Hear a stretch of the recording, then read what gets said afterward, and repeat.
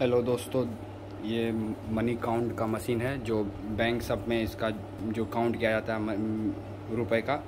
आ, ये आज फ्लिपकार्ट फ्लिपकार्ट से मंगा मंगाया गया है। आ, इसका इसका प्राइस साढ़े पाँच हज़ार रुपये है। ये इसका जो हो गया आपका इसमें डिस्प्ले जो काउंट करके डिजिट दिखाता है इसमें कितना कैश है। ये वायर है बस इतना ही सामान है बस।